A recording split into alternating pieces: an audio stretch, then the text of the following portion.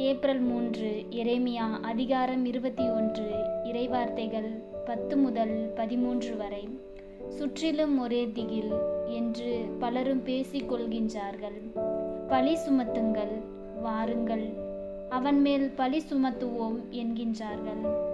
என் நண்பர்கள் கூட என் வீழ்ச்சிக்காக காத்திருக்கிறார்கள். ஒருவேளை அவன் மயங்கி விடுவான் நாம் அவன் மேல் வெற்றி கொண்டு அவனை பழி தீர்த்து கொள்ளாமல் கொள்ளலாம் என்கின்றார்கள். ஆனால் ஆண்டவர் வலிமை வாய்ந்த வீரரைப் போல என்னோடு இருக்கின்றார்கள். எனவே என்னை துன்புறுத்துவோர் இடறி விழுவர். அவர்கள் வெற்றி கொள்ள மாட்டார்கள். அவர்கள் விவேகத்தோடு செயல்படவில்லை. அவர்களின் அவமானம் என்றும் நிலைத்திருக்கும். அது மறுக்கப்படாது. படைகளின் ஆண்டவரே நேர்மையாளரே சோதித்தறிபவரும் உள்ளுணர்வுகளையும் இதய சிந்தனைகளையும் அறிபவரும் நீரே. நீர் என் எதிரிகளை பழி வாங்குவதை நான் காண வேண்டும்.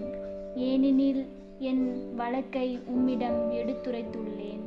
ஆண்டவருக்கு புகழ் பாடுங்கள் அவரை புகழ்ந்தேத்துங்கள் ஏனெனில் அவர் வறியோரின் உயிரை தீயோரின் பிடி நின்று விடுவித்தார்.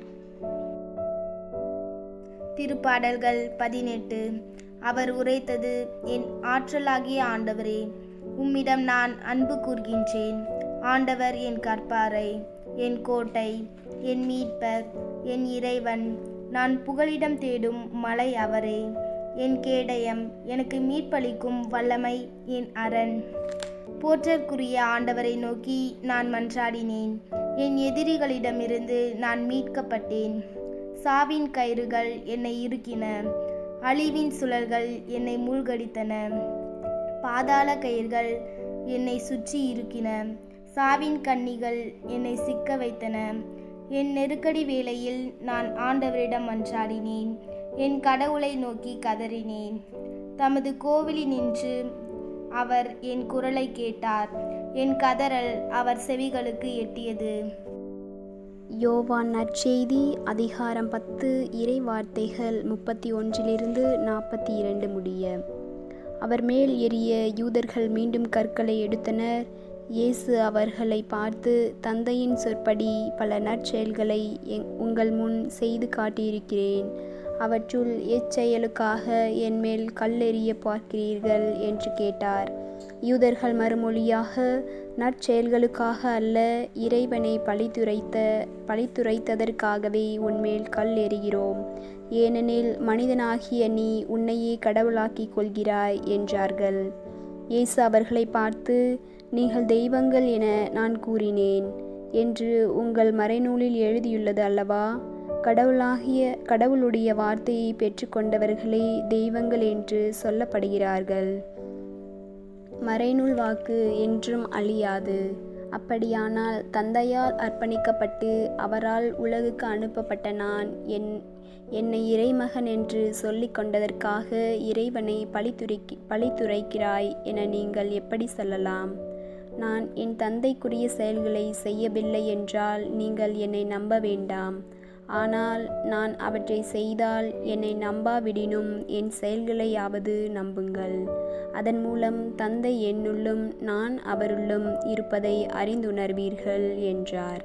இதை கேட்டு அவர்கள் அவரை மீண்டும் பிடிக்க முயன்றார்கள்.